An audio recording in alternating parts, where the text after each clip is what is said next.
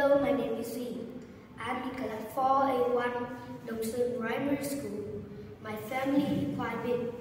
I have got a younger brother. He's five years old.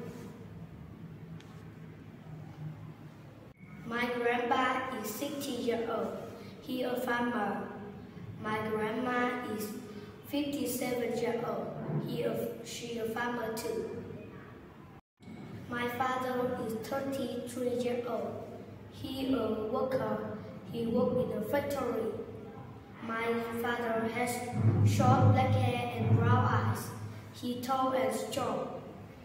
My mother is 30 years old. She is a worker too. She work in a small company. She has long black hair and she very beautiful. I have an uncle and aunt. They live near us. I often play with my cousin.